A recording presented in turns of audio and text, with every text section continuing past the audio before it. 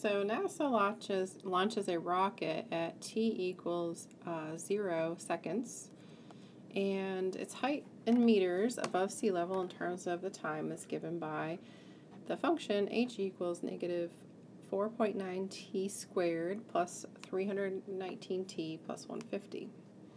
How high is the rocket after 8 seconds? For that, we can just plug 8 in for t. So it'd be negative 4.9 times 8 squared plus 319 times 8 plus 150. Because 8 seconds is the time, so if we plug in time it, to the height function, it's going to give us height. So I'm going to put this in my calculator carefully.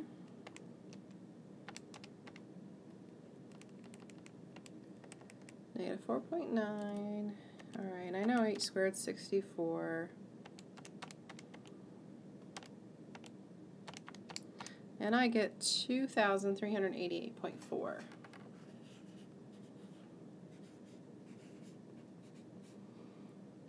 And that's going to be in meters. Uh, the second one is how high was the rocket when it was initially launched?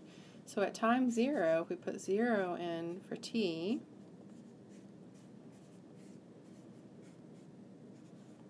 The first two terms just go to zero. The only thing left is 150. So 150 meters is where the, the rocket started.